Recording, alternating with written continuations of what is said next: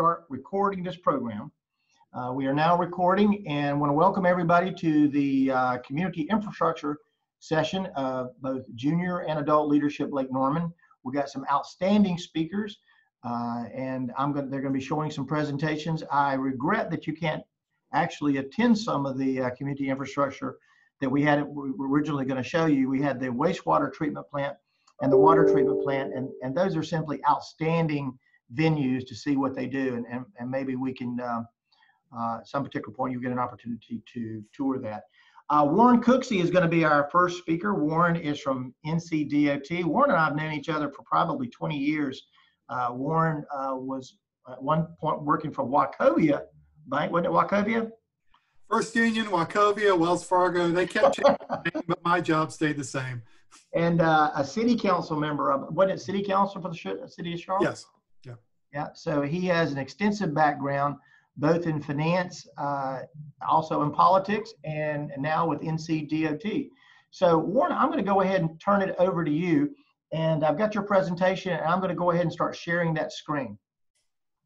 All righty. Thank you, Bill. Uh, it's been a, a, privilege for the past few years to respond to Bill's request to come to the uh, Leadership Lake Norman group and talk about how a road gets built. So that's what I'm going to do. Now, this is not about concrete and asphalt and that sort of thing. This is more the policy direction of how a road gets built. Because I think if you're uh, you're interested in leadership in the Lake Norman area, you know, this this process I'm about to explain is is what you'll need to, to keep in mind if transportation infrastructure in general and roadway infrastructure in particular is of interest to you. So Bill, let's get started next. Uh, key background point to start with is uh, understanding the highway divisions. You don't have to go into a lot of detail about this, but DOT looks at the state and has been since the mid 50s uh, in these 14 different highway divisions. It is through the divisions that operations, maintenance, uh, construction oversight, and uh, in some cases, project design occurs. So here in Mecklenburg County, we are part of Division 10 along with Cabarrus, Stanly, Anson, and Union counties. You'll see variations of this map throughout my presentation and you'll hear the significance of divisions as, as we continue to go along. So I want to get that point made up. Uh, next up, Bill. Uh, a second key background point to be aware of is the state maintained road network. Um, North Carolina is rare among states in the country in that county governments are not involved in construction or maintenance of roadways. The state took over the county road systems back during the Depression in the 1930s. So it can be a bit tricky figuring some of that out. Now, the easy part are you know, any road that you see with a shield on the screen there, you know, an interstate shield, a US shield, a North Carolina route shield, those are easy to figure out that they're part of the NCDOT system.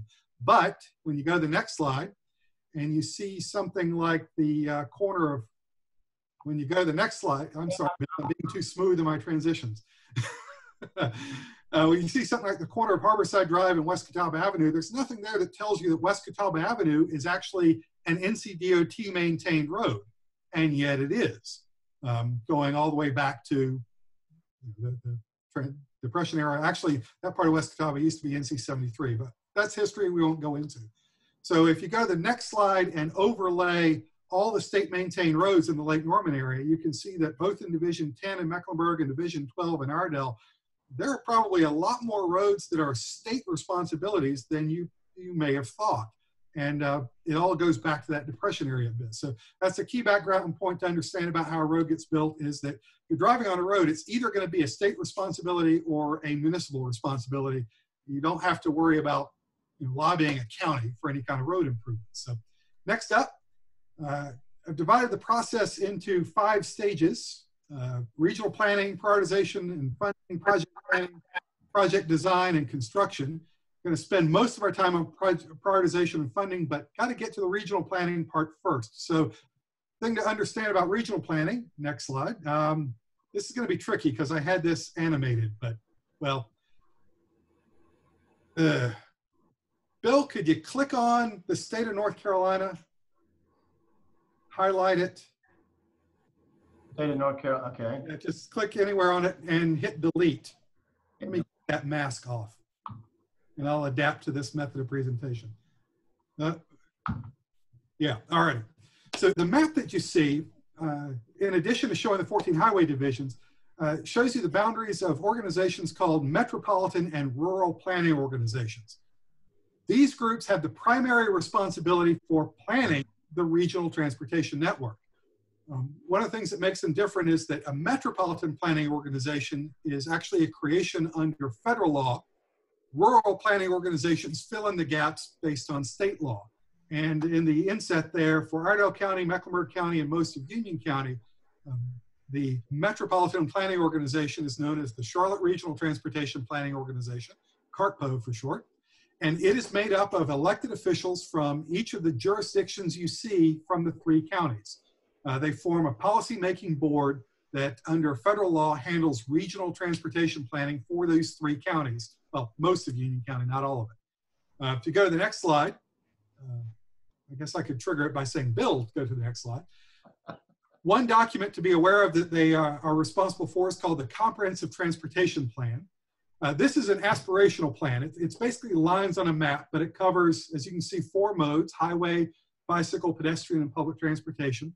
Um, these aren't projects. This isn't something hard and fast. This is just if there's any notion that a roadway needs improvement or a new roadway should be built, it needs to be a line on one of these maps. Uh, the uh, custodianship of the Comprehensive Transportation Plan is a state law requirement but MPOs and RPOs are responsible for them for their various jurisdictions. Uh, Bill, the next slide. Uh, whoops, delete, that was supposed to be hidden. That's too much detail. Go to the next slide. I hid that one. I forgot to delete it. Uh, not enough time to go into detail there. The other plan to be aware of at CARTPO's level is called the Metropolitan Transportation Plan, just to confuse things a bit. Uh, this is a federally required plan.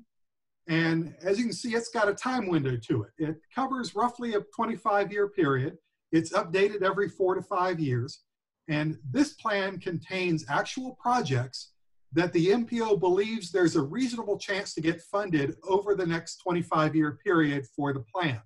Um, so the first step, if there's something you want to see done, is to make sure it's a proper line on the map for the CTP at the CARTPO level. The second is to make sure the project you're interested in is included in a metropolitan transportation plan. Uh, and you have a chance to uh, give feedback for the creation of it roughly every four years or so. The CTP is an ongoing process because it's, it's aspirational, it's not an actual project yet. So that's the background on regional planning that you need to know. If you want a project to happen, it needs to be in these plans. So next, Bill, next up, uh, that's a sample of it. Don't have time for that. Hid that as well. Um, so that's regional planning. Let's delve and spend most of our time with the prioritization and funding process. So Bill, the next slide. I'll start with the, uh, not that one, previous one. There we go. Uh, in fiscal year 19, the last full fiscal year we had, um, NCDOT had about $5 billion of revenue. You can see in the obligatory PowerPoint pie chart there how that was divided.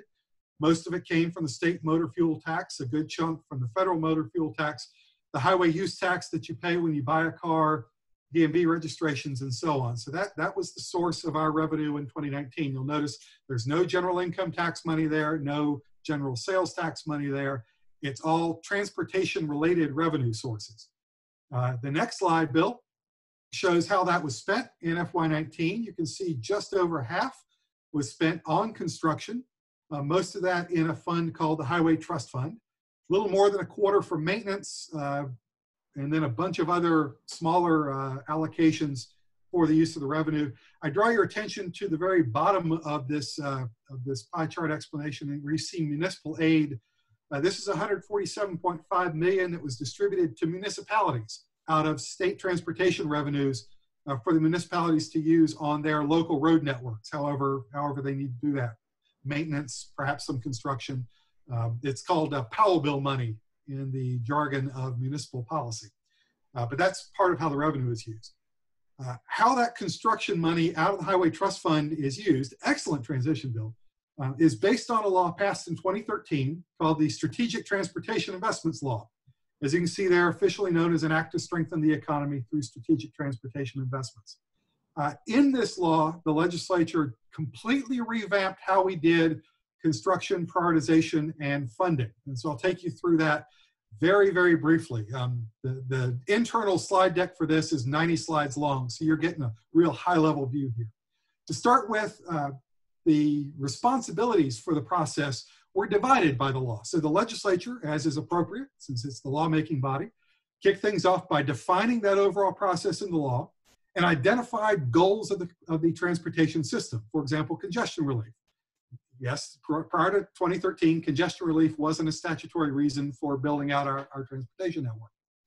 Next, uh, we, uh, it delegated to NCDOT to quantify those goals, which our Board of Transportation does, and then apply them to projects, which the um, which the very talented staff at the Strategic Prioritization Office of Transportation does, taking the formulas adopted by the board and applying them to every project. So, for example, congestion equals volume versus capacity. Now we come back to this map, and where the projects come from is again the MPOs, the RPOs, and division engineers. So legislators don't submit projects directly. Uh, state transportation board members don't submit projects directly. The projects come directly for scoring from MPOs, RPOs, and division engineers. So having split the responsibilities, we next turn to how the money is divided. So next up, 40% of the money available is uh, allocated by state statute to what are known as statewide mobility projects. There's a definition in the statute, but what it roughly translates to is all the interstates in the state and certain U.S. routes, uh, such as U.S. 74 in uh, CARTPO's jurisdiction. Um, the definition says that 40% of construction funding would be applied to projects that come from MPOs, RPOs, and division engineers that are geared towards these specific roadways, interstates, and some U.S. routes. Next, 30% go to regional impact projects.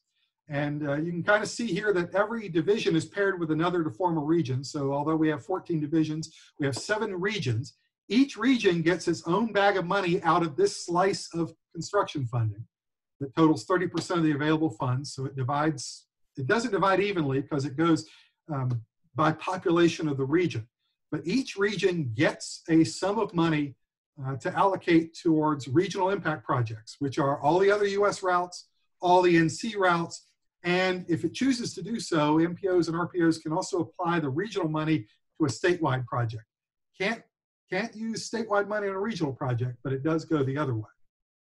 Next up, the remaining 30% uh, is for division needs project. And this is divided equally amongst the 14 divisions so that each has about the same amount of money uh, to spend on division needs. And that's going to be your secondary road network, such as West Catawba Avenue, something that doesn't have a shield. That said, statewide, back up one, uh, statewide or regional projects can, it's called cascade down into the division level. So if there's a really, there's a statewide or regional project that didn't get funded in its own category, it could be funded out of division needs if an MPO or an RPO wants to do so. So that's how the money's divided. Now we'll talk about scoring. So next up, Bill. Uh, when we apply the formulas that the Board of Transportation adopts under the STI law, in the percentages that the board adopts, the, um, you know, the folks on NCDOT staff then can score every project based on those formulas. So what you see here first is how the statewide, you know, what formulas apply to statewide mobility. We've got congestion and freight and safety and so on. Uh, the key point to note here is that statewide mobility projects, these big statewide projects, are funded based on the data score alone. Uh, nobody can vote to defund a project or you know, add a, a, specific project. They can be funded only based on how well they score under this system. Next, however, on the regional impact level, 70% um, of its score is based on data. The remaining 30% is based on local input. I'll explain what that means in a moment because Bill, next, you can see that local input's an even more significant part of division needs. So for a division needs project, Half of its score is based on the data from formulas. The remaining half is from local input. And as you may have guessed, that local input, next bill, comes again from the MPOs and the RPOs and the division engineers. It doesn't come from the state board or the state legislature. Uh, that said, uh, even at that level of local input points, those groups must adopt a methodology for how they will assign points. They can't just sit around the table and say, I like that project, put points on it. They have to create a process for applying those points. So all of this is very complex and layered and, and difficult to follow. but it creates a system of extraordinary transparency where I can tell you to a decimal point why a project does or does not get funded. Uh, all of this, next bill, uh, leads to a document called the State Transportation Improvement Program, which is a 10-year program of work applying all the construction funds estimated to be available to all the projects statewide at those three levels that successfully achieved funding uh, through the STI process. Uh, that said, although it's a 10-year document, it does get updated about every two years. So this is an ongoing process, working through your MPO with your division with the division engineer on uh, continually updating this program based on the STI law. Uh, skip, uh, well, Bill, the, if you ever want to read it, this is what a page of it looks like. Won't go into the detail there. That's uh, another topic. Close on the uh, State Transportation Improvement Program by noting there is a much greater demand for projects than funding available. In the last round of, of scoring that created the most recent STIP, the Statewide Transportation Improvement Program, you can see there uh, less than $13 billion worth of projects actually were able to get funded.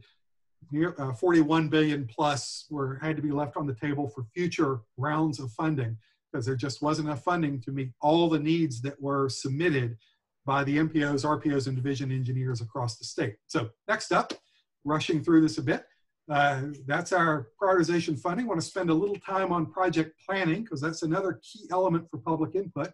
Uh, next up, Bill, you see most projects are going to have an environmental document under either the state or national environmental policy acts. Uh, it'll look something like this. Uh, there are different types. There are different levels of detail that they go into. But any project with any federal funding is going to follow the National Environmental Policy Act or NEPA. Any project that is funded purely through state money will follow the state environmental document process. Uh, but there's this end result um, that must be done before a project uh, can proceed. Uh, next up, you see one example of something that is looked at. Environment is a very broad uh, category of things that are evaluated, but one that's fairly obvious for the national side of things is looking for federally protected species in a project area. So if any of these five species gets found in a proposed project area, it adds complications to the delivery of the ultimate delivery of that project. There's some ways to mitigate it, but we deal with it. Next up, uh, and why I want to focus on this particular part of the process is that public meetings are crucial for this. Once a project is funded and it's going to go forward, uh, then there are several iterations of public meetings uh, to seek public input on the design. Now, one of the key things to note about this stage of the process is the project is going to happen at this phase. It is funded, the funding is locked in. I see so many people who show up at these meetings saying, I don't want this project. That decision was made when the project was submitted for funding. And if it, if it scored well enough for funding, it's going to eventually get constructed. Uh, but these public meetings are about the design. Uh, so next slide, uh, Bill. You can see there'll be public meeting maps where folks can see what the preliminary designs are under the environmental document. They can provide feedback on where new intersections might go or how the widening would work, whether it goes you know, to the left of the existing uh, roadway, to the right, that kind of thing. Um, and next up, you can follow all of this for your higher profile projects on ncdot.gov's website under projects. You can see these project maps when a public meeting has been held. Um, so that's the project planning process. Project design, I don't need to spend a lot of time on because it's extraordinarily technical and it takes basically that public feedback and gets a project ready for bid. Uh, the designers, the engineers go from these broad designs that are shown at the public meeting maps to the next slide, much more detailed uh, drawings that uh, roadways can actually be built from. So this is where the professionals really, uh, really hunker down and convert the general ideas into these specific types of documents. It's at this stage, next up, thanks Bill, that we also look at the specific uh, right-of-way that needs to be identified and acquired for any roadway improvement project. Uh, next up, we also at this stage are looking at uh, utility relocations. There are lots of utilities that are located in rights of way, and if a roadway is going to be expanded into the existing right of way, and new right of way has to get purchased, that typically means utilities have to be relocated as well. So we've got to spend time identifying them and giving those utilities that opportunity. Now we're ready for construction, and I'm about out of time. Uh, so I'm not going to talk much about this construction. Um, this is how a road gets built and gets to that point. Uh, next up, if you want to see future projects statewide or more particularly for the Lake Norman area, uh, look up uh, NCDOT STIP map in your favorite search engine. Uh, it'll lead you to a map similar to this. You can zoom in on the area. Uh, future projects are highlighted. You can click on the project and see some details. See in particular the TIP, Transportation Improvement Program ID number, uh, which is a way to look it up in the State Transportation Improvement Program, see some ideas. I wouldn't give too much credence to dates though, um, because as you may have heard, not just with coronavirus, but even before then, this is an article from last September. Um, we've had a series of financial hits to the department uh, over the past couple of years from um, certain court rulings about uh, decades old legislation uh, that affected uh, the value of people's property when it was required for, it was expected to be required for right of way uh, to hurricane relief to now this is pre-coronavirus now as you may have seen recently um, we have for the first time uh, our cash reserves are below the floor uh, for the state law so a lot of the dates are going to be uncertain at this point um, but to that end if there are any questions bill i'll turn things back over to you to identify for questions and i'll try to answer them the best I can. Well, we've got uh, uh, some other stuff. So does anybody have a specific question of Warren? We got time for maybe one or two questions before we move to Mayor Aneralla. Um, all right. Well, Warren, thank you so very much for joining us. I'll, I'll hang around a bit in case uh, in case the mayor is better at soliciting questions from people that uh, that uh, may wind up being NCDOT turf. Uh, so I won't put him on. Well, he won't have to be put on the spot for that. Okay. So for the next for a while. All right, I'm going to uh, recognize John Aneralla. John is the mayor for the town of Huntersville, serving his. Is this two terms? This is second term now, right? Second. Third. Third, term. Yes, yes, yes. Should have known that. Third term. Uh, uh, John also has a business bulldog asset management, and uh, he has been the past president of the Kiwanis Club and, and one of our state officers in Kiwanis, very involved. And John is going to cover what are some of the road improvement projects specifically to Huntersville because of all the municipalities and Cornelius Davis and Huntersville. Huntersville has, I think we said $600 million worth of road improvement projects that are slated. So John, I'm going to go ahead and I'm going to share the screen uh, that you sent over. And uh, if you want to walk us through some of the uh, projects that we've got looking uh, taking place. Okay. Well, first of all, thank you, everybody. And thank you, Warren. I know uh, some of you might have said, wow, that is really complicated way of getting uh, roads uh, funded and on the map here. Uh, but I can tell you it's a heck of a lot better than it used to be when uh, Senator so-and-so called his buddy and said, hey, I need to get a road through this area. And the buddy said, you know, whatever, whoever he was. Oh yeah, okay, well let's get it done. So that process that you just saw has been going on for probably about seven or eight years, and um, it has really helped the way road funding is going throughout the state. And what I mean by that, as an example, what you're looking at right now are funded road projects in Huntersville. And I had asked our staff uh, a few years ago, I said, you know, we, we have all these projects that are going to be funded, but I don't know when they're happening and where they're happening and so forth. So, five years ago, four or five years ago, when I first became mayor, we probably had about $250 million worth of road, state road projects combined with some town road projects. Right now, that number is about 600 million. And why is that? Well, because of the uh, formulas that have been put in place, including what Warren had said about congestion, uh, there's also economic development and growth and all these other uh, things that go into it. Huntersville was woefully behind in terms of our infrastructure, and really, quite frankly, all of North Mecklenburg and Mecklenburg County in general. So, uh, as we went into the formula based and then instead of the good old boy based, uh, all our numbers started uh, going through this process.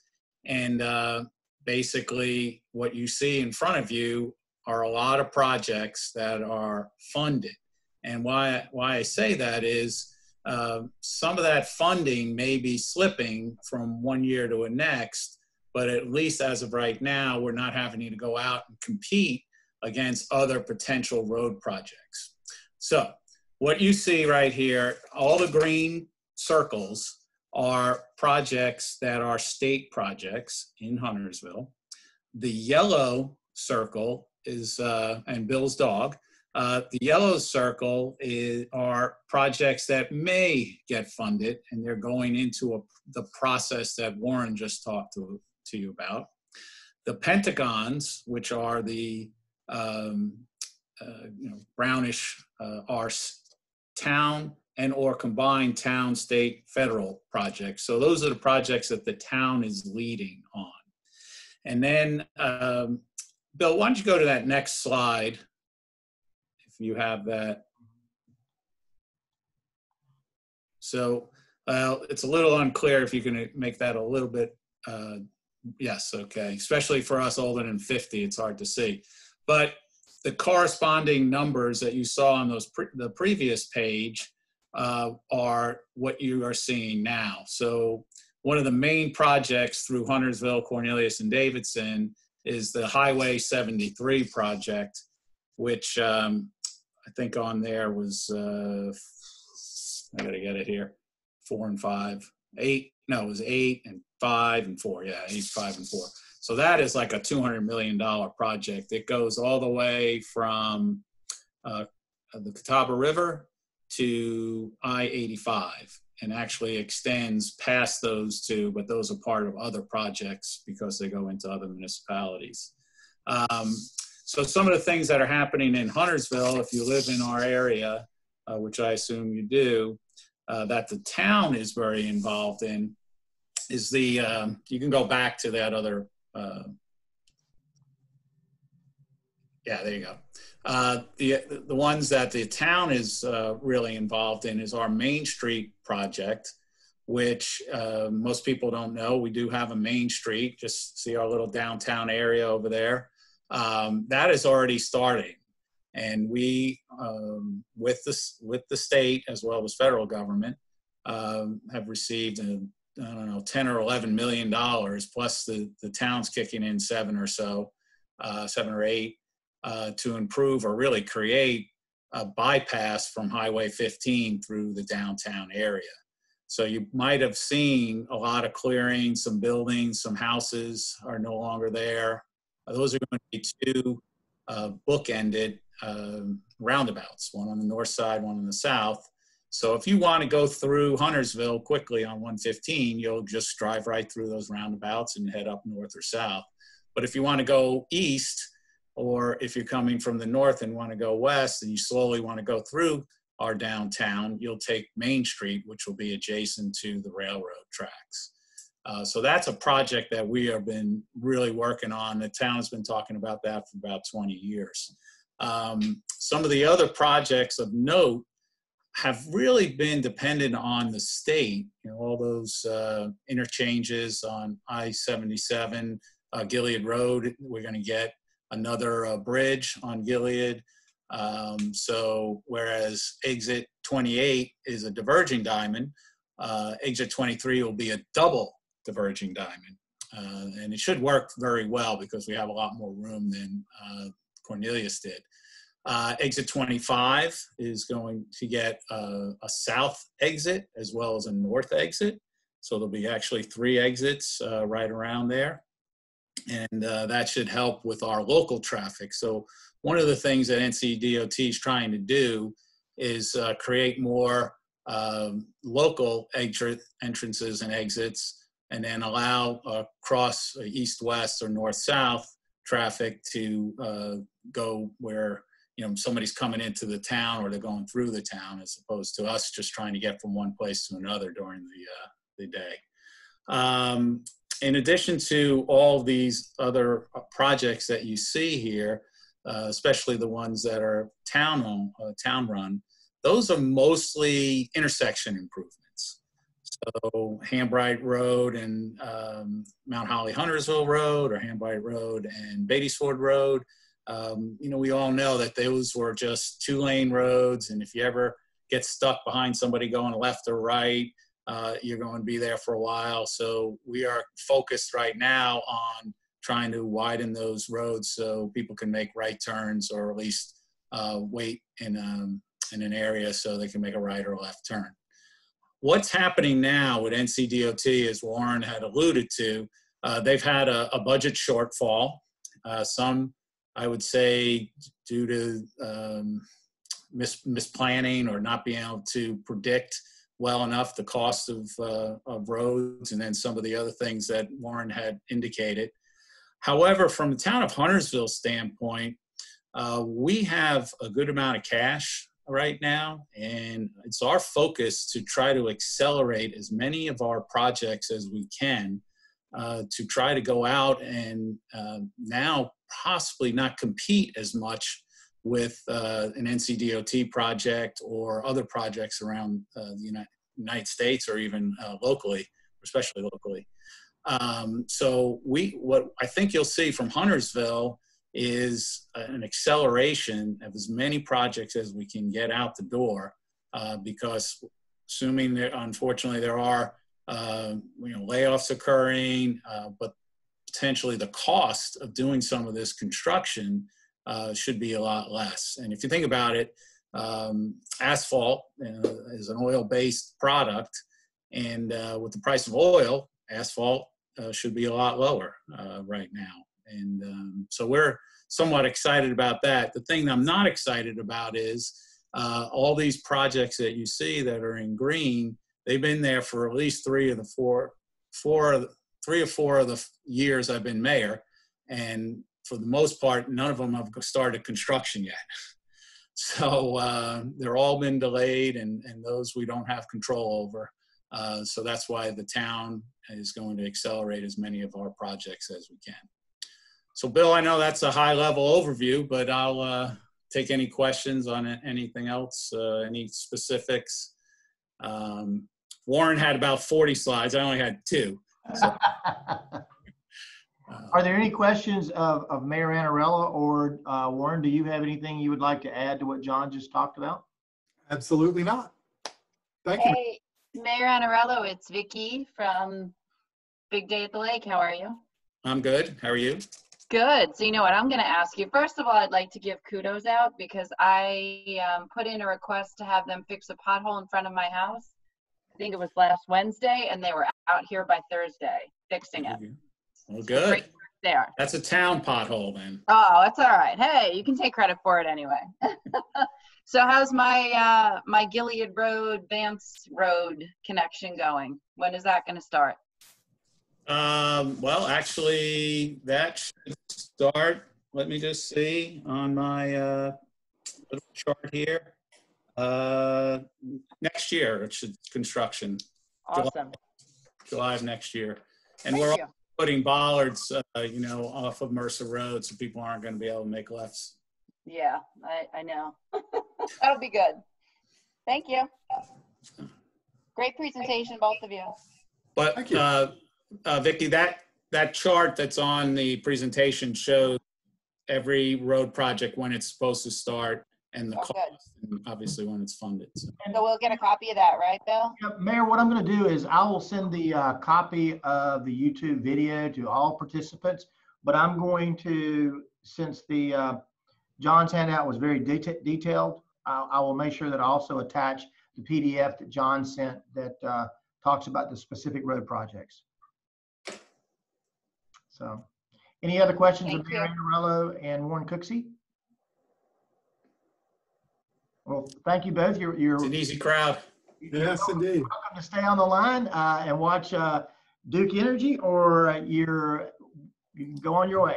I'm leaving. See ya. Got some, got some work to do. Thanks, everybody. Good everybody. luck, John. Thank you. Our next presentation is uh, John Crutchfield with Duke Energy. John is a member of the Lake Norman Chamber of Commerce Board of Directors and uh, also very big in the environmental aspect of, of Duke Energy. Uh, John, I'm going to go ahead and uh, share your screen on, on yours, and uh, you can begin walking us through your presentation. Okay, thank you, Bill, and good afternoon to all the participants uh, today. I appreciate the opportunity to talk to you. Uh, what I'd like to do is talk talk to you today of how we produce power, put it on the grid, and deliver it to your home and businesses and uh, how we're shaping our power production in the future to achieve a net zero carbon emission uh, uh, goal that we have. I'll try to give some basics in Electricity 101, how electricity is produced, and then give some examples of power plants to show you a different power plant of how the energy is actually produced through those power plants. But just to start off with um, our, our Duke Energy service territory, we have a regulated service, uh, service territory in um, six states. And let me see if I can, Bill, how do I? Well, I'm, I'll, I'm going to change them for you. Okay, there we go. Uh, we, we have a regulated electric service uh, territory, which includes six states and about 7.8 million customers. And what I mean by regulated electric service utility is that in each of those states, we're accountable to a utilities uh, commission, which is a politically appointed commission. Uh, and we have to, they uh, determine what our rates are for not only residential uh, uh, customers, but uh, that includes commercial and industrial customers. And we have periodic rate cases, and you probably have heard of them in the news where we go before those utilities commission to recoup our costs, and that's what our operating costs are. And then any capital costs that we have in terms of capital improvements, equipment uh, improvements in power plants, as well as new power plants. So that's what I mean by regula- regula- regulated uh, electric utility. Um, and then, you know, our rates are, are determined upon our expenses, and then it gives us a rate of return on our investment.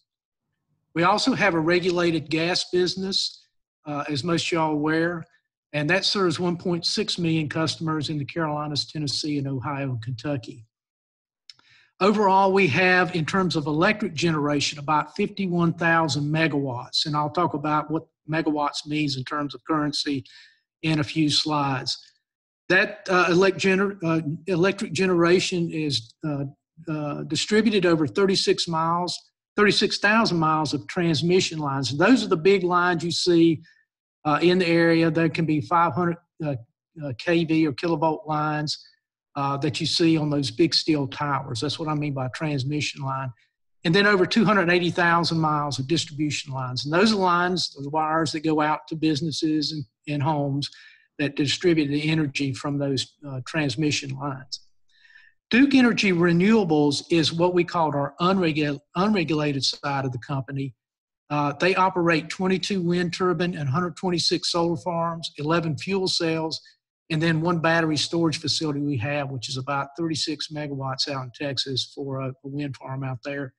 That's about 22, almost 2,300 uh, additional megawatts of capacity, and that's across 19 states. And that mainly is the wind and um, the solar, and that's mainly out in the Midwest and western part of the of the uh, United States. The, the the commercial or non-regulated, we sell that on the open market to other utilities. We also purchase it the regulated utility, and we also uh, uh, sell it to large companies like Amazon, Facebook, and other companies like that in terms of the unregulated market. This shows on the regulated side our generation mix uh, the pie chart, uh, you can see almost equal amounts we produce now with nuclear and natural gas. Uh, coal is about 26%, and then hydro and solar combined is about 6%, and then uh, less than 1% is currently is oil. Now, the electric generation mix you're seeing on the left in that table, that includes both regulated and unregulated uh, generation on, on a, a, nationwide basis. So it's not uh, exactly apples to apples, but you can see it's comparable in terms of natural gas. Um, in coal, we have uh, uh, more in terms of nuclear capacity. If you took our uh, uh, unregulated side of the company, the renewable side of the company, and put in those megawatts, then our, our megawatt, our, our generation mix would be comparable to that 18%. I will stop and say here, if you look at what our uh, current generation capacity in terms of, of carbon-free emissions, uh, we have about 40%. And a nuclear does not emit any kind of carbon uh, dioxide into the atmosphere as opposed to coal, coal-fired plants uh, and, and, and, um, and, and gas-fired plants. Um, we have um, we are shaping our generation between now and 2050 to achieve a net zero carbon emissions by 2050. Uh, and so you'll see that coal by 2050, we will retire all our coal fired plants. Uh, we our strategy is to increase our renewables. That's both solar and wind. Uh, we will also be using um, the uh, natural gas in in in our uh, in our generation mix in that time period. Uh, of course, natural gas does not emit as much carbon dioxide as coal fire plant. It doesn't have the by, the byproducts uh, associated with uh, uh, the emissions as coal does. We continue. We will continue to run our nuclear fleet, uh, which we have six nuclear sites with 11 units. Uh, those plants, we will be looking, the nuclear plants, looking at extending the nuclear licenses. Currently, uh, we've the those plants were initially licensed with 40 years. We've gone through uh, one relicensing, and we'll be extending that for another uh, uh, of one relicensing for 20 years renewal, and then we'll be looking at extending them for another 20 years. So operating those nuclear plants for 80 years. And you may say, gosh, that's a long time. Yes, it is, but those plants are well maintained. Uh, the systems are kept up current in terms of the state of the art equipment, and they will be a part of our, our strategy to get to that net carbon zero. Just to give a perspective on coal fire plants, we have retired uh, about 51 coal fire units representing about 6.6 gigawatts of electricity since 2010. Um, we have reduced our carbon emissions by 39% since 2005. Uh, by 2030, we will hit the 50% mark and then achieve net zero on, on, on those emissions by 2050. So certainly, uh, uh, a, a, you'll see a dramatic turn in the way we produce electricity. It's, you've already seen it in terms of what we have. Um, but one thing I want to emphasize here as we go through these next slides to meet our electric, electricity uh, demands, we have to have more than one type of generation source or generation uh, plant. It's not one source can make one sit one size fits all. It has to be a variety of, of sources uh, to to achieve uh, our generation capacity, meet the needs of our customers. Bill, next slide, please. This just shows for uh, our generation resources in the Carolinas we have about 33,000 megawatts of capacity of various plants supporting about 4 million customers.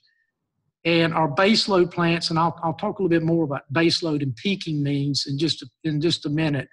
But our baseload plants are nuclear, coal, and combined cycle combustion turbine. That's a natural gas type of uh, turbine, um, or, or, provided uh, by natural gas. Uh, those mean baseload is means they run constantly uh, to meet the, the, the generation demands uh, at, a, at a certain level. Our peaking uh, facilities, that's to meet the peak demands either in the morning or afternoon, depending on if it's winter or spring. That includes simple cycle combustion turbines, and again, those are natural gas. And these combustion turbines, what I'm talking about, natural gas uh, combustion turbines, think of a big jet engine. That's what they are, um, it, it essentially, is a big jet engine turbine. Um, also in peaking, we have pump storage. We have two stations, uh, Jocassee and Bad Creek down in South Carolina, that we use to meet our peaking demands. And then we have conventional hydro, like on Lake Norman at Cowan's Ford Hydro. We have 31 stations to achieve that. Um, and then our renewable, uh, currently we use solar and we also have, we have solar farms that we uh, own and operate or we purchase solar from entities. Uh, we have some biomass, uh, either animal waste that we purchased from uh, energy companies or wood chips. Currently, we don't have any wind in North Carolina. Our wind is on the non-regulated uh, renewable side. Uh, in fact, the only wind farm in North Carolina is up the northeast uh, of, North Carolina near Elizabeth City. I think it's around 200 megawatts, which provides energy for Amazon up in Virginia but we are interested in developing wind in the future in, in, in the Carolinas. just to talk about electric currency, because I've been throwing about what megawatts are for this and that. One megawatt hour, that means 1 million watts used over for one hour or a 1,000 kilowatts over one hour. One megawatt can power about 750 homes uh, to give a perspective of the amount of energy. Uh, to give you an example of, of kilowatt hours or megawatt hours, if you take 10 100 watt light bulbs and you put the turn them on at the same time, that equals a thousand watts or one kilowatt hour if they're kept on for one hour. So that's one kilowatt hour. And a typical residential home will use about a little over 800 um, kilowatt hours per month. Okay, Bill, next slide. Again, this is a very simple method to show how we produce electricity uh, for um, nuclear, uh, coal, gas, and oil. Of course, we either use fission for nuclear or use coal, coal gas, or oil as a burner. Uh, we turn water into steam, which drives the turbine there you can see, uh, which goes, uh, which turns the generator, and a generator consists of two major elements, a stator, which is the windings uh, uh, around, uh, which is the housing, which is cons- consists of copper wi- windings, and then the rotor, which actually turns, which is made of magnets. That creates the electromagnetic field, which causes the flow of electrons, and that produces energy which goes out onto the system. For wind and uh, water, you can see at the top of the wind or the water drives the turbine. There does there's no heating of water, obviously, with those, which turns the turbine to produce electricity. For solar uh, photovoltaic cells uh, are, are uh, used to produce current in there, and I'll talk just briefly about those in a few minutes. Bill, next slide. I was talking about base load versus peaking, and this is a very simple schematic. Baseload is the amount of, of electricity over 24 hours schedule that's pretty pretty consistent. That's the amount of electricity that's required just as a baseload. Hospitals, uh, firm uh, companies, residents that use just on a constant basis. The peaking is like if you get up in the morning, you're making breakfast, you, the heat goes kicks on in the winter. You see a rise of, of, of electrical demand in the morning that will typically tapers off, and then it will peak in the evening. Uh, as people come home, electric, uh, either air conditioning cuts on, they turn up the heat or whatnot. So we need different types of energy sources to meet the peaking demands and the baseload demands. In the winter, our peak is mainly in the um, morning when it's coldest. The heat usually is on. Uh, that, that switches in the summer. Our, our peak is usually in the evening. Uh, when air conditioning gets hot, air conditioning comes on uh, and, and those activities. Typically, during this time of period, during the spring or fall, is when we have power plant outages where the peaks are not and electric uh, demand is not as quite as high. That's when we have uh, our maintenance outages for our plants. I will mention, you know, COVID 19 has affected businesses, closed businesses, it's affected us.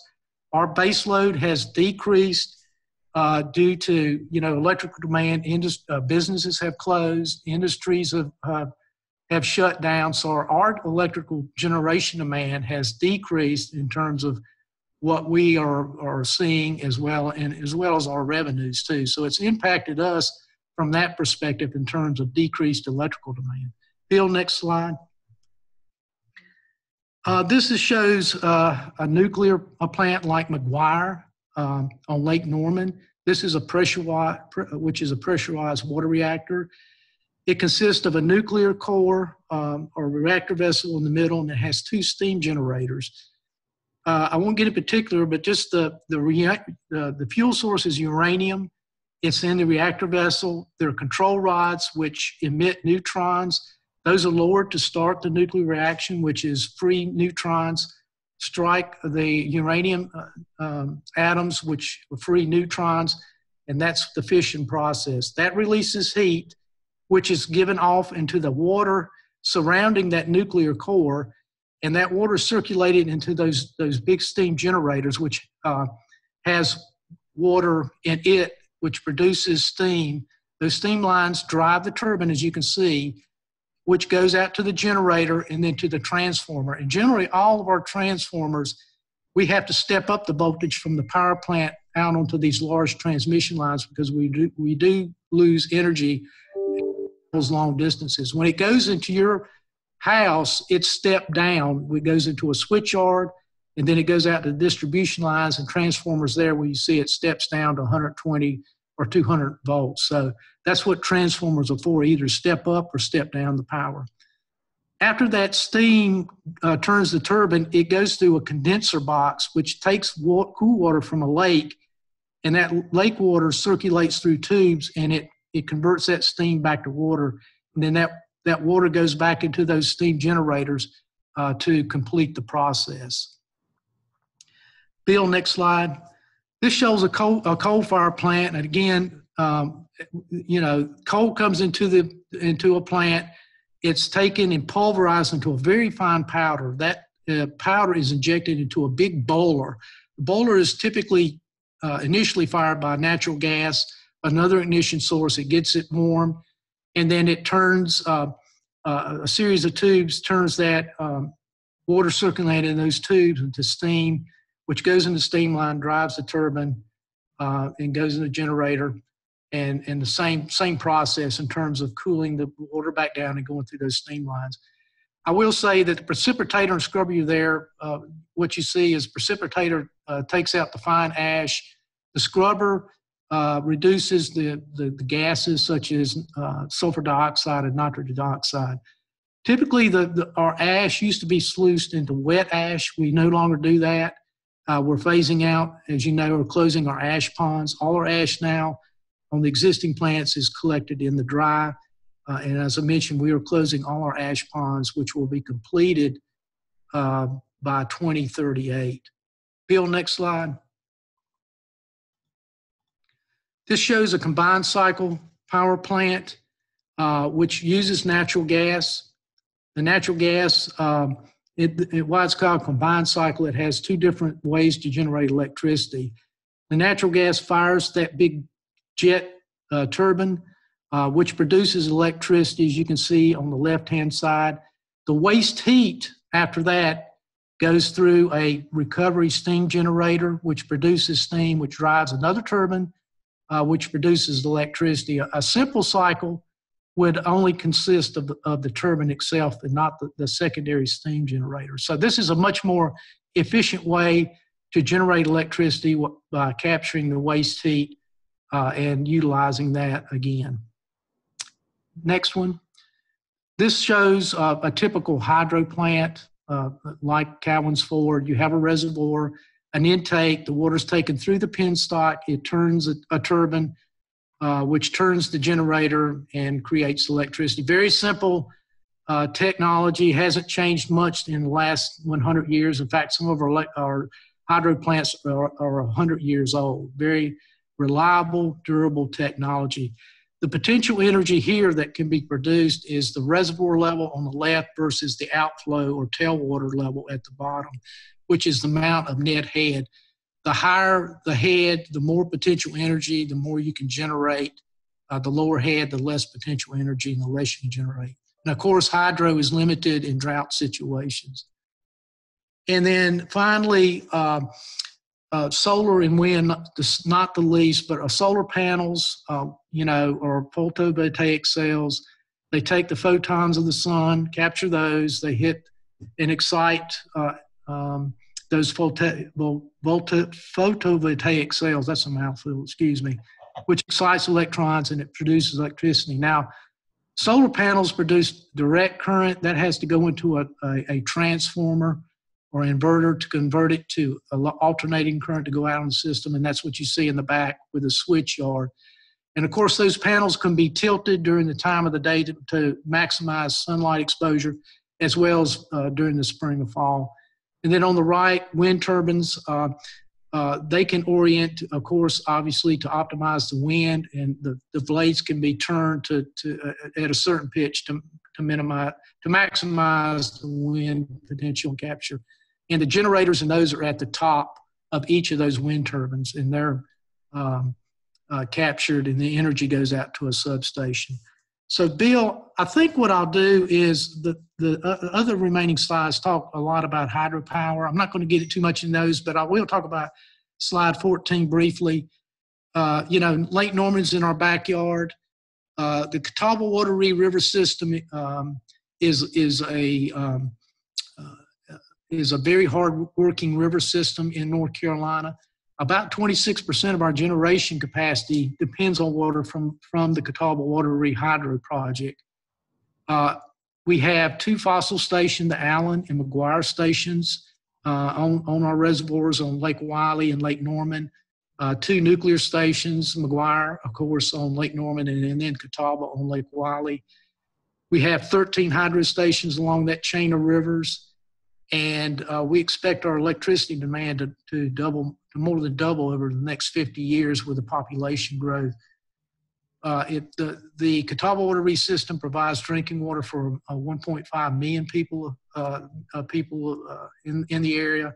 And you can see, the, like the electrical demand, our, our demands on our water supply will increase as we more people move to the area. And then, of course, last but not least, I know a lot of people like to use Norman we have over 16 million recreation visits along the Catawba Wateree uh, uh, for uh, recreation. Recreation is a big business, and we acknowledge that with our access on our lakes.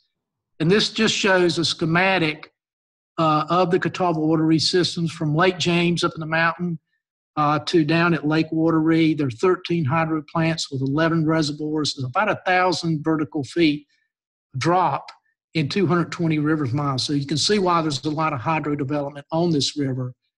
And uh, the, our greatest storage for this system is Lake James, Lake Norman, and Lake Wylie. That's where we have the capacity to hold water during high flow events, or if we have droughts, we can have a lot of storage capacity there. So, with that, Bill, I'll stop and entertain any questions. I know that was a lot to cover over uh, 20 minutes or so, but I do appreciate everybody's attention this afternoon. Any questions, uh, John?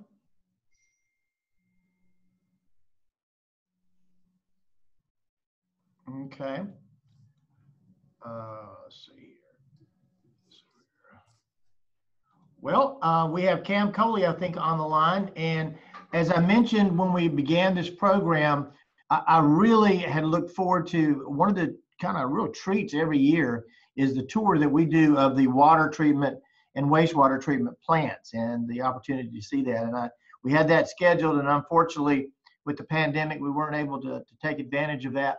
But we have Cam Coley from Charlotte Water that's on the line, and he's going to walk us through a little bit about our water and wastewater treatment. So, Cam, I'm going to turn the program over to you, and I'm going to share the uh, the uh, program that you sent over.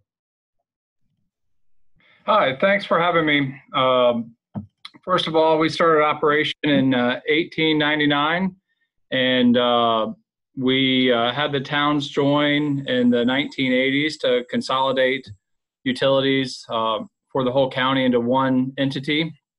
Um, although uh, we serve the county, we are a City of Charlotte department but we do work with the towns on uh, what they need uh, when they need it, kind of what projects are needed, uh, what growth do they predict, and uh, and try to follow growth as best we can. So we'll go through some slides here. Uh, the first one, just to remind people, the three waters.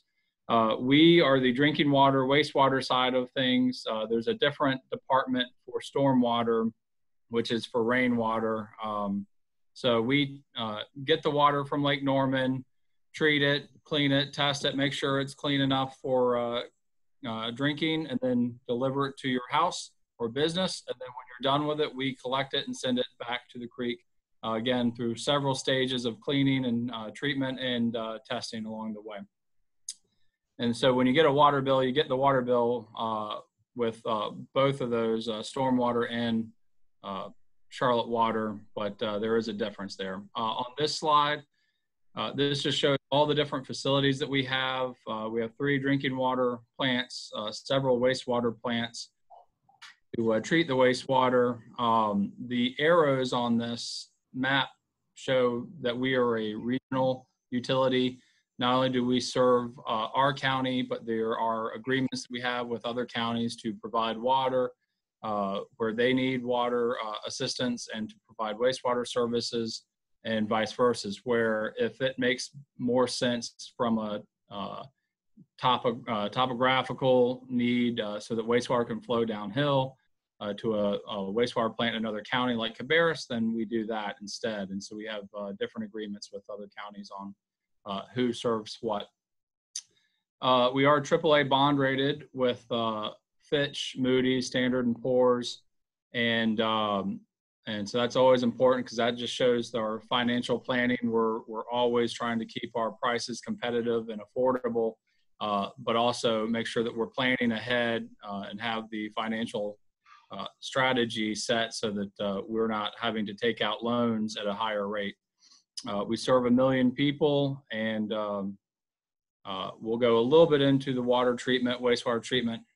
Since we can't show you the tour like we normally do, uh, using these graphs to help you see uh, the process.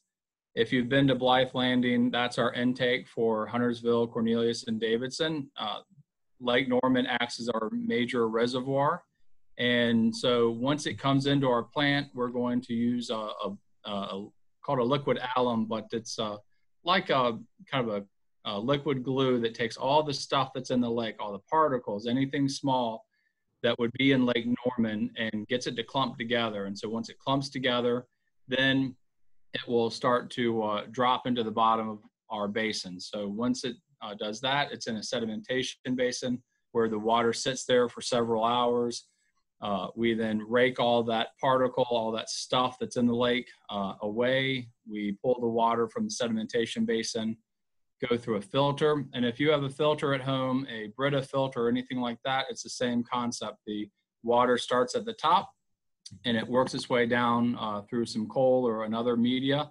Uh, in our case, our filters are 15 to 20 feet deep and it's anthracite, coal, sand, and gravel so that when we're done with that uh, water flowing from top to bottom, at the bottom of our plant, it's uh, great H2O ready to drink. The only problem is you don't live at our plant, so we then put in some corrosion control uh, to uh, help make sure that the water has a, a safe journey to uh, your home, um, that uh, we don't have any damaging of pipes or corrosion issues. Uh, we add uh, fluoride for teeth. Uh, it's something we've been doing uh, for well over 60 years as part of uh, the health department. It's a great way to uh, reduce cavities throughout the county. Um, the, the other part is chlorine because although the water is ready for us to drink at the plant, since it has to travel to your, your home or business, it needs a little chlorine to help make it get there safely.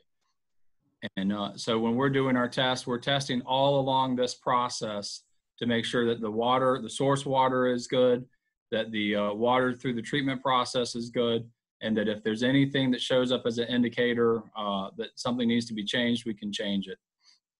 And uh, on the next slide, uh, this is just an overview, uh, Blythe Landing, that's our intake. and the next slide shows an overview of our Huntersville facility. Uh, although this was uh, designed in the 80s and built in the early 90s, uh, same thing. We we predict growth, and uh, all of our facilities are built with the idea that over the next hundred plus years, we're going to have to expand. So um, uh, we build them in, in in that model of that we need to make sure that we can handle what's coming in the future. So uh, it is uh, redundant so that uh, we can take half the plant down for cleaning or maintenance and continue to serve the community, but also expandable so that uh, right now we do about 16 million gallons of water a day for uh, Huntersville, Cornelius, and Davidson. On summer times, it'd be 25 million. On the whole community, it would be 100 during the winter time and uh, 150 or more during the summertime. So uh, we have to have a, a lot of uh, uh, flexibility there, especially during the summertime for uh, irrigation and other uses. Uh, on the next slide,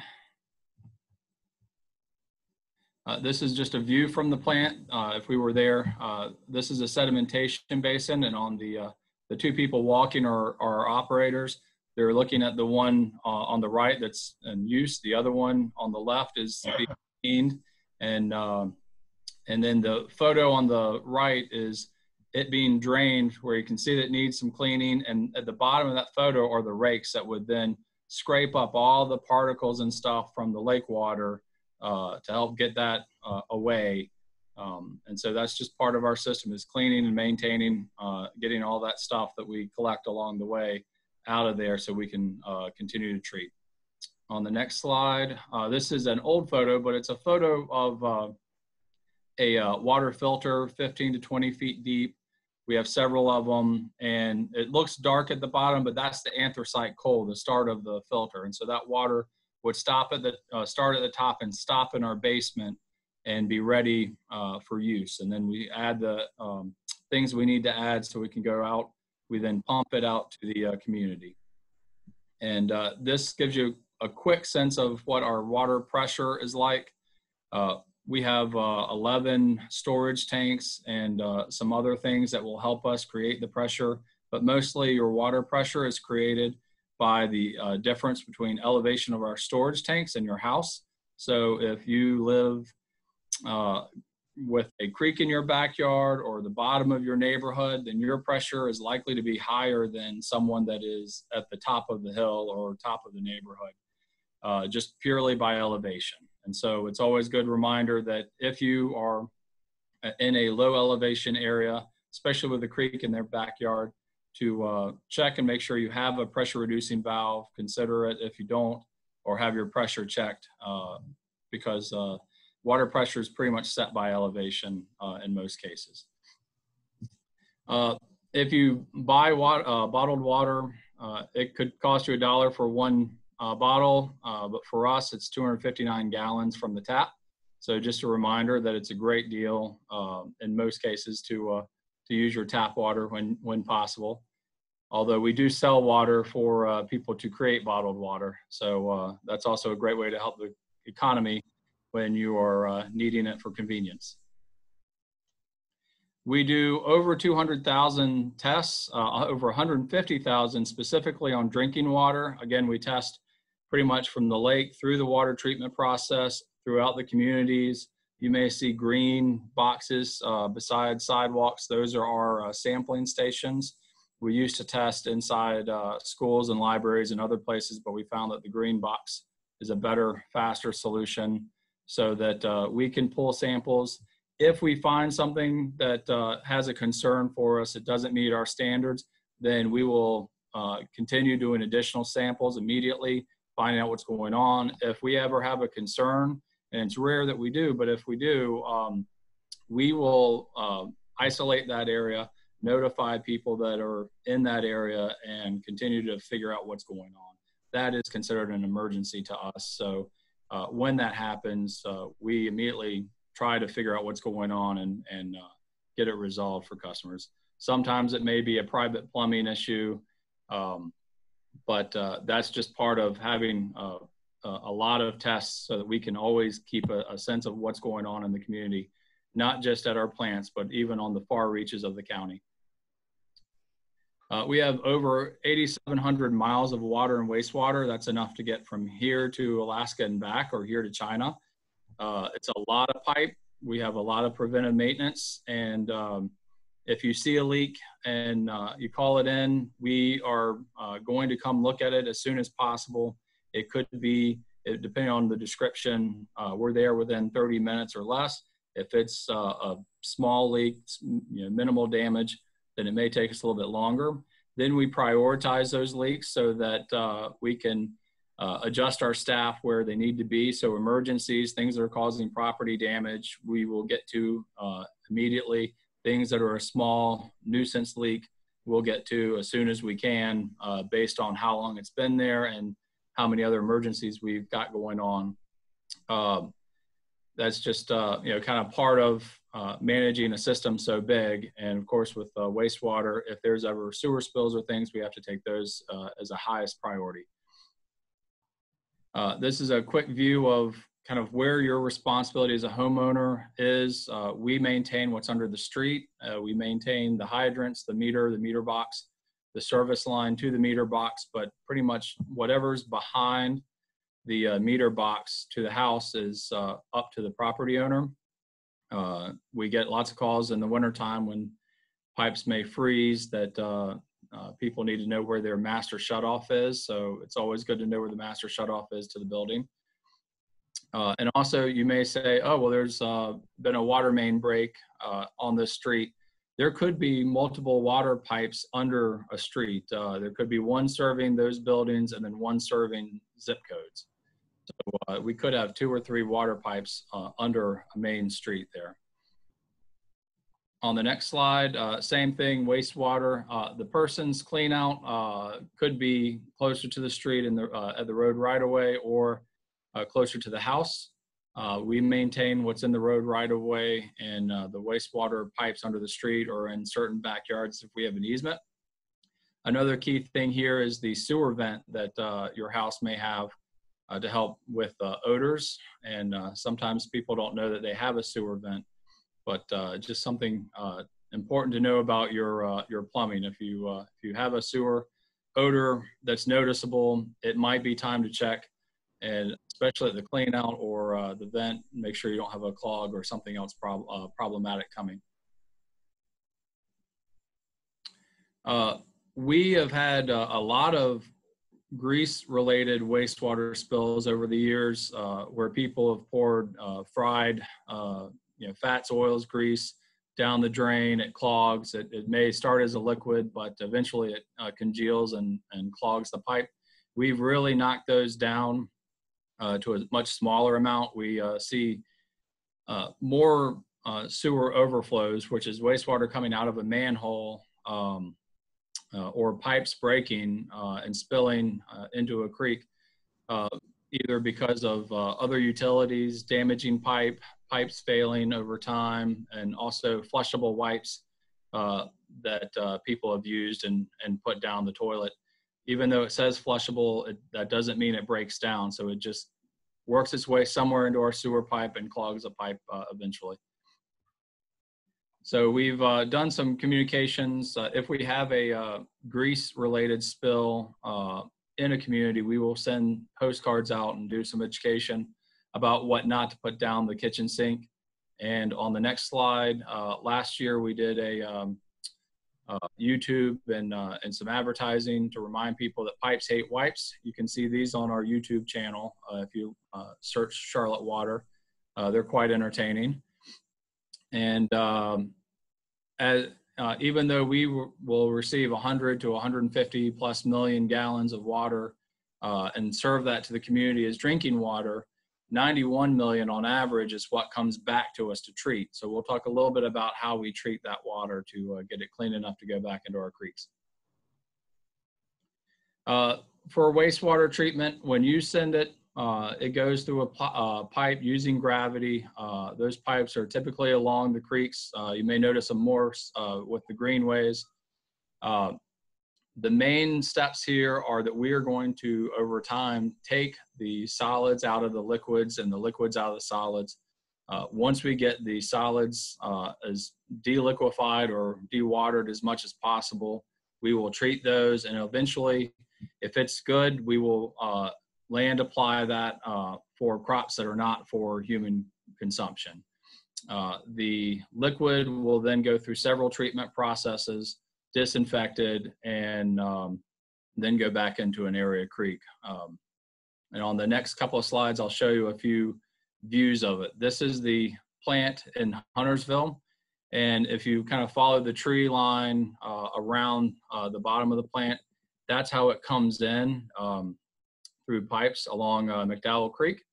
The uh, grit removal on the right side there is where we would start the process of removing the solids, uh, any of the uh, stuff that we receive that is not waste and is not uh, water, uh, say toys, rings, uh, whatever people may flush, those would show up there and be landfilled.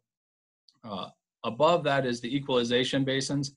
When we have those ma major storms, then even though the wastewater system is not meant to have rainwater, if it gets in, we can easily use that as an emergency place to uh, put that water, and I'll explain that a little bit more in a second here as to why that's important. Uh, the top left of the plant where uh, we have digesters is the solid side of things, and we would be uh, working that water trying uh, out of there, trying to get it as um, solid as we can into a cake. And then once we have it uh, as a good solid, then it's time to work it in, uh, create a biosolid out of it. The bottom left of the plant is uh, our water side where we are uh, continuing to get the waste, uh, the solids out of that water, clean the water, get it cleaner than the creek is itself. And then uh, when it's clean enough, then we have it become what's called effluent, which is it's introduced back into the creek. Uh, a unknown part of the wastewater plant uh, that uh, always got people interested in in the tour is the bugs, and we are a large bug farm. Uh, what we mean by that is that we have a lot of single cell organisms, microscopic organisms that love to eat the pollutants in the wastewater. And so we have these large basins, aeration basins, where we feed them oxygen, we feed them some sugar, and they eat the bad parts of the wastewater and help clean it up for us. It's a natural way to uh, uh, to treat the wastewater without a lot of chemicals, and all we have to do is keep them happy. And so uh, um, it's always part of the tour that uh, people were kind of surprised by. Uh, as part of that, instead of purchasing expensive chemicals to keep them happy, uh, we've had a uh, long-term deal with sugar, water, uh, waste manufacturers, uh, soft drink manufacturers that when they're done making the soft drinks, they have a lot of extra sugar that they have to offload. And instead of taking it to be disposed of in other places, we've made deals with them where they can uh, bring the truck to us instead, and we pay for the driver and the truck to come make the delivery. It saves us on chemicals, uh, which are more expensive, and it saves them on the disposal fees. So uh, it works out great for us, and the bugs really like the uh, sugar wastewater uh, to uh, keep them happy and keep them eating the pollutants. And of course, uh, just like water, we are doing wastewater quality testing throughout the whole process. Uh, we have systems in place to test at the uh, various locations of the plant uh, as to how each piece is doing, but we also have ways to test all of the plant and get alerts. Uh, our staff is alerted whenever there's any kind of concern as to um, uh, anything out of sync. So we have a lot of testing throughout the, the plant to make sure everything's optimal. And then this is a picture I took a long time ago of uh, our effluent, of uh, where the wastewater, the treated wastewater, enters back into McDowell Creek. And as you can see, it's a nice, pretty uh, view of the uh, uh, creek and the uh, plant. And what you notice is that there's not much of a difference. The, the only difference people may notice is that there's a little bit extra bubbles. And that's just as the um, wastewater comes in, it's been going through a cascade or, or a step uh, and it kind of creates a lot of oxygen into that as part of our treatment process. So it just looks a little extra bubbly. And then we're on uh, several of the social media uh, uh channels. So feel free to look for us, uh, use that as a way to communicate with us or check out more information. And uh, 311 is the best place to reach if you have a question or concern, if you see a sewer spill or have a concern about a water leak. If you uh, have a water leak and it hasn't been repaired um, and it's getting worse, let us know because it, it's uh, it's ex- extremely important for us to have everyone's eyes, ears, noses out in the community to let us know what they're seeing. Thank you. Anybody have any questions of Cam? Uh, again, I really wish you guys could have, have toured the facility, but uh, any any questions of, of Cam and Charlotte Water? An interesting story, and Cam, I think I've told you, one of the local soft drink companies uh, had brought over their truck, and this is when they still had the branding on the truck. And uh, some of the leadership Lake Norman folks saw this particular soft drink company over there at the wastewater treatment facility, and they were like, "Oh my gosh, is that where that comes from?" So I, they're a chamber member, so I got on the phone and called them. I said, you may want to take over a generic truck when you're offloading your sugars. Uh, and, and, and they have done that since, but uh, interesting story. Well, Cam, we certainly appreciate the time that you spent with us today going over that. And uh, hopefully maybe sometime in the future, they can tour the uh, Charlotte Water facilities. We love that. Okay, thank you very much. Um, we're now going to move to Jeff Tarte. Jeff Tarte uh, is the 2020 Public Policy Chair of the Lake Norman Chamber of Commerce. He is a former North Carolina Senator for District 41, a former mayor for the town of Cornelius, and actually before he was uh, mayor of Cornelius, he was on the Parks and Rec Board. So he has worn a lot of hats. Uh, he is a small business owner whose wife is also in the healthcare industry. And one of the things we wanted to do is the chamber last year put on a program where we brought together uh, representatives from Atrium, Novant, Lake Norman Regional Medical Center. And some of the comments made was, imagine if we could get some of our healthcare um, partners working together, particularly because we have so many things that are that are popping up.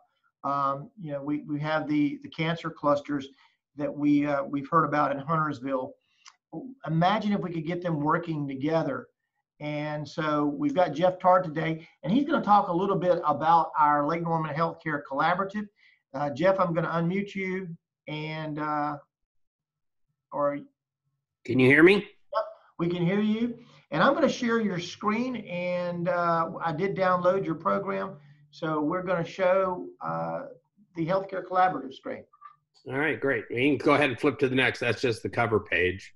The um, I guess appreciate y'all having me here. I guess I do have a lot of formers in front of my name. the things been doing. Uh, the collaborative started um, almost a year ago now, and the idea around it was to get in our community uh, really a population health management program um, that we would be able to provide information to employers and the healthcare systems uh, to better take care of our population uh, using technology. So the real important aspect is we said we needed to really focus it, narrow it down to the content of what we would spend our time initially. And the mission, as you see in here, is to do predictive analytics around early identification of diseases.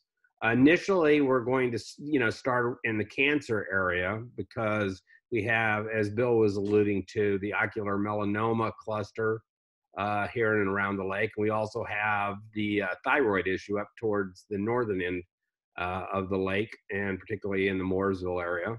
And then we all know we're pretty familiar with colon cancer and some of the others.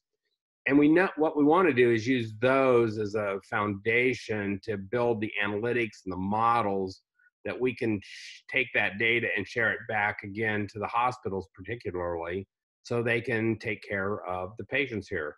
We're structured as a not for profit organization. Everything that we do as a work product, eventually, as we start doing this, because we're very early, will be to provide that at no cost back to everybody. And as you can imagine, with the COVID 19 pandemic in place, uh, we are looking to pivot a little bit. We've been asked, have do we have the technology that will enable us to basically service two main components, and we'll get into these a little bit further. Is around testing. Uh, how do we capture and and uh, the analytics against that data? Because it's a metrics, one of the seven metrics Governor Cooper has outlined that they want to track. And the second, which we're all getting a little more familiar with, is contact tracing. So, in other words, you're in a seventh grade uh, class, math class. So, who all was in that same math class if two of the students come down and test positive at their doctor's appointment? Or, and so how does that impact? Okay, you've got kids and you're both working, you know, so we need to help the employers know to keep uh, people productive and as well uh, looking at actual employment groups. So, we're looking at some of the large employers uh, initially uh, firefighters are a group that we'll end up spending time with because it's a cohort we can get our hands around quickly. Nursing homes uh, are areas that we're logically looking at. Bill, if you want to flip slides, because some of this we'll talk to, this will give you, eh, you know, if somebody asked us, and, I've been describing a little bit of it, and I'll let you read along. I'm not going to read slides to you. Uh, and anybody that wants a set of these are welcome to them, by the way, is gives you a way we describe the collaborative and what we're all about, which is some of the things that we just talked about. Um, one thing to, eh, as we put the group together, again, it's really started as a focus in the Lake Norman area with the employers, because this is an employer driven initiative, uh, particularly under the umbrella of the chamber. And then we obviously go to the other uh, side of the equation where we need the hospitals involved because they're the ultimate care providers and the physicians. So we've had each of the major healthcare systems in the area participate. They're sharing resources, setting in on our monthly meetings and things. And then, of course, the employers themselves. We have one of the gentlemen who's the chief executive officer for the Employer Association, which represents almost a thousand companies in the metro area, is participating. And it's how do we leverage to provide a benefit for them? And part of that comes by keeping their employees healthy, sharing information about that without violating HIPAA and uh, PHI, private health information, all those things that we have to pay attention to as we go forward. Um, very important that we engage and employ really state of the uh, market technologies around cybersecurity. Uh, we're working as an open collaborative, and by that, we will share everything we're doing uh, that's shareable, that's not under some kind of confidentiality, and that being data. Most of the data that we will contain or hold on a patient will be de identified. Uh, we're going to be working closely with the Department of Health and Human Services and Dr. Cohen's group in Raleigh, as well as um, SAS. I don't know how many people are comfortable or familiar with that company, rather. Uh, SAS is a big data analytics organization, one of the largest in the world, and it's actually headquartered over in Cary. That uh, and they have something referred to. A uh, good thing to remember is called the Government Data Analytics Center, and its acronym is referred to as GDAC. And a couple years ago, there was legislation that passed that requires all healthcare information uh, that's collected by hospitals and physicians and care providers has to be sent to the state. And so a lot of the information we would use will be already at GDAC, at the Government Data Analytics Center, that we'll be looking at as well. Uh, if you go to the next slide, Bill. And this gives you an idea of kind of who we're starting to talk to and work with. We talked about the employers. We obviously know the patients um, that we're going to be working with and needing to be worked with, as well as the entire health system. And that's hospitals, doctors, nurses, it can be a chiropractor's office. It can be, you know, anything along that line. There's actually even, as we're seeing it now, it's changing because of the virtual hospitals and virtual offices that are being created. So we will have to pivot on the access points where we get that information that we do use uh, as we go through this. The other aspect of the group that's maybe as important as the clinicians and that medical expertise in the group are going to be the data scientists. So we are working in collaboration with several of the universities. UNC Charlotte has a very pristine uh, and prestigious program around data analytics, around large data. We've got people who sit on the committee that are from organizations and uh, that work in this area because we will be applying certain technologies and you read a lot about them that will leverage what it'll be in artificial intelligence machine learning, identity management, blockchain will all be foundation technologies that we will have embedded in our solution set uh, as we move forward and the platforms as we work with them. Um, and the, the last point, which is kind of interesting, you're going to start reading more and more about this because uh, you see Apple, Google, others around the country are starting to do data collaboratives. And as I mentioned, we're going to share our data with those groups get guidance so we kind of advance the ball sooner. I guess the best analogy is kind of like the whole vaccine area that we're doing with COVID right now. Average vaccine takes 10 to 15 years to get to market approved, FDA approvals, clinical trials, the whole bit. And yet they're hoping to have valid vaccines in place within a year uh, for COVID. And we're looking to move at that same kind of speed once we get funding and uh, structure in place. Bill? So what what are we about? Again, it's it's the idea is let's use cancer as the baseline. If we're doing predictive analytics, It would be our ability to take all the data that we know about a patient or an individual or a group of individuals in a geographic area, say the firefighters or a nursing home, and predict with a high degree of confidence uh, when you're likely to get uh, cancer or get COVID and predict it with some degree of accuracy. Part of the reasons to do that is let's use uh, co- uh, colon cancer. I- and and most cancers are a good example. If you catch and can identify a cancer in f- stage one, the survival rates are like 85% or so or higher. If you catch that same cancer in stage three or four, those numbers invert.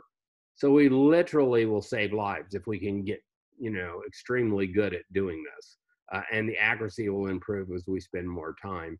Uh, there's people already doing it, and and it will also make us much more efficient users of, and consumer of healthcare dollars. Uh, there's certain guidelines, as you know, with colonoscopy. Some may know with colonoscopies, they uh, start requiring or suggest that you start your first colonoscopy at age 50. But if we can collect uh, and then do it, if you have polyps every five years, if you don't, you can come back every 10 years. Uh, mammographies, you know, they start, they suggest you start doing that around age uh, 40 and establishing a baseline. But if you have cancer in your family, immediate family, and uh, a cousin, a mother, an aunt, then you need to start that earlier or establish a baseline. And if we can track those things from a genetics perspective, from patient uh, collected data perspective, uh, we have a much higher rate of telling you or determining when pro- treatment protocols should change. So, in other words, based on a population or a family history and tracking it, we may be able on a colonoscopy say instead of waiting to 50, you probably should have a colonoscopy at age 35 uh, and, have a higher uh, probability of catching it earlier versus the opposite effect. If there's none and we're looking at genetic and data around uh, an individual you, you might theoretically never need a colonoscopy. So why spend it and have it done if it's not really required and going to provide any benefit? So that and what i just described is an overview of what is known as risk stratification so that's we're trying to minimize the uh, the risk of needing a particular procedure and having again isolating the population that really needs a particular kind of treatment uh, that we're tracking as we go through this. All right, if you want to jump down, Bill, this just gives you an idea of you know we will seek outside funding. So this is all going to be donor and grant based uh, organization. There's no fee. There's no profit uh, as we do this, as we mentioned. We've already started conversations with the state. There's federal grants and programs available, the Duke endowments thing. So we are just uh, getting engaged and ready. And that starts because we officially got our 501c3 status from the IRS uh, a few weeks back. So we are, so anybody that wants to write checks tonight, uh, happy to do so because we are, you can write that off on your taxes now. It's a charitable contribution. So next slide, Bill. Okay, and, and so we, we've kind of talked about this already. Again, number one for the cancers is to get at stage one events earlier uh, to prevent, you know, obviously have a higher probability of survival uh, from that type of disease. But we know it occurs in diabetes uh, and things along that line. If we can change things in data about what you're doing and help provide that information from nutritional background, from genetics things that you're doing, that uh, maybe weight uh, and obesity issues that we can help uh, programmatically identify and drive down. Uh, we know people who have weight loss that are, uh, you know, taking insulin actually come off insulin completely. I mean, we can have a lifestyle impact as we go through this. And as we said, uh, what's in it for the employers? I mean, th- there's a motivation to make sure people stay healthier, able to go to work. They're less sick. The degree of, you know, severity, the acuity of their sickness is lower, so they're uh, out of work less time and uh, more productive. Bill? So this, these are the things we talked about uh, as far as which diseases early on. Again, the one thing that we will shift and, and look at is trying to pick up and help on the testing around the COVID-19. Uh, there's a lot of interest and, uh, and requests from us to be able to pivot and handle that data. Again, as we start, we'll focus on Lake Norman just from a geography uh, perspective and a scope of work. Start in and around the lake communities. That's a pretty big population. the firefighters would take us to a could take us to a statewide cohort early on, as uh, the nursing homes could as well. Uh, but we'll expand it eventually across the state, and potentially it will go nationally. If some of the models and stuff demonstrate they're able to achieve what we're hoping as outcomes. Bill, next one. The um, collaborative, again, this is just kind of where we are, the steps we've been going through. You know, it's like any kind of startup business in a sense. I mean, we've had to put a charter together. We've had to come up with mission statements. We've had to define our purpose. There's organizational structures uh, as we go through all the banking, accounting, tax reporting, um, Secretary of State reporting issues, just like any other business that we have to build that structure around that we have to do. But at the end of the day, we will be building the platform uh, that we do this on, and we're using commercially available technologies, kind of leading edge vendors, to embed in the, our toolkit. And at the same time, one of the major initiatives that we'll be undergoing is two things collecting data and funding to handle uh, the number of folks and the expertise that we bring into the organization that hopefully will end up having full-time staff, full-time facilities, and that we utilize. I'll let you flip to the next one. Uh, proactive results. This, these are things we've already talked about. So you can, I'll give you a minute just to kind of step through those as we've talked about all of that. And that's what the collaborative overall is about. Uh, early in its uh, initiative, it's probably has about 18 to 20 members. Uh, so we have medical professionals, data scientists, we have consulting expertise. Uh, we've got people who do population health management. We've got media people. We've got businesses. So it's quite a cross section of expertise and interest in this area. So that's the collaborative. Any questions from anybody from uh, Jeff regarding the healthcare collaborative? Jeff also drives our public policy, and there's been a lot of things going on. And one of the things that we have next Friday is we're going to have a program, 8:30 Focus Friday, and it's going to be on the stress that COVID-19 uh, has presented itself on business owners, managers, employees, and families. Uh, Jeff, you want to touch on that at all? Yeah, we have two experts in the area, behavioral scientists. Uh, that are coming, one from Atrium and one from Novant. They've been gracious enough to uh, give us their time. They're going to do an upfront overview of the types of issues that we're experiencing in the community uh, from COVID-19 specifically and the stresses it puts on.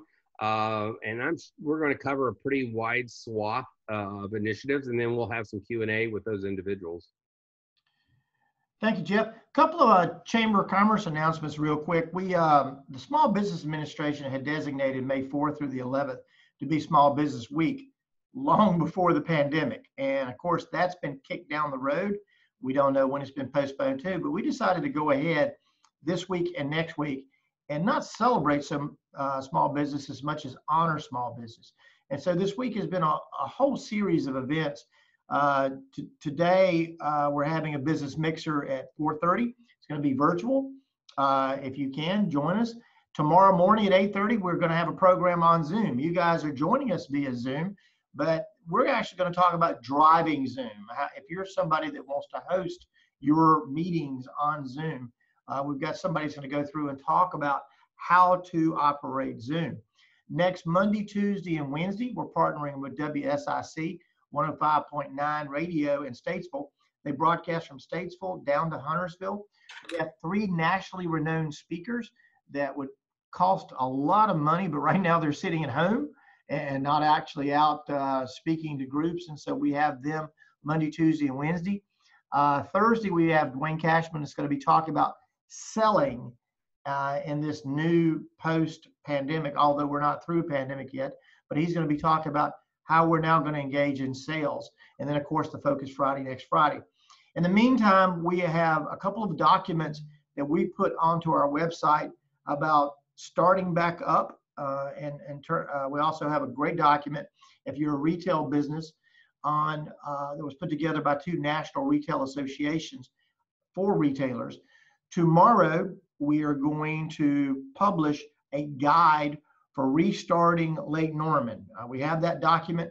I'm proofing it now. I, I sent it over to Jeff today to look over, but we're going to send out this document. Uh, it is something that was created for us to for our, all of our businesses, small businesses, corporations, everybody from from A to Z, animal care, uh, right down to zoos. Uh, how how to handle and keep your office safe for your employees and for your clients and your customers. Uh, so a lot of things going on with the Chamber of Commerce. I would encourage everybody to look at the website at lakenormanchamber.org. Uh, as I mentioned when I started this, uh, the adult uh, leadership Lake Norman, we're probably going to kick the next session to July, and so that we can actually tour facilities again. I think that's an important component. So you'll actually go to some of the attractions. So we'll probably be putting that together and then have graduation following that. Um, the juniors that are still on the phone, we're going to uh, probably ask that you come back sometime in June when we feel it's safe, again, to bring groups of, of 20 or more together. But uh, that's the program for today. Uh, we're going, this is being recorded, so immediately when we conclude this, I'll go ahead and put it together and I'll, I'll email it out to everybody, whether they were able to participate or not along with Mayor Aneralla's list of road improvement projects. Does anybody have any questions or any comments before we conclude today's Leadership Lake Norman program?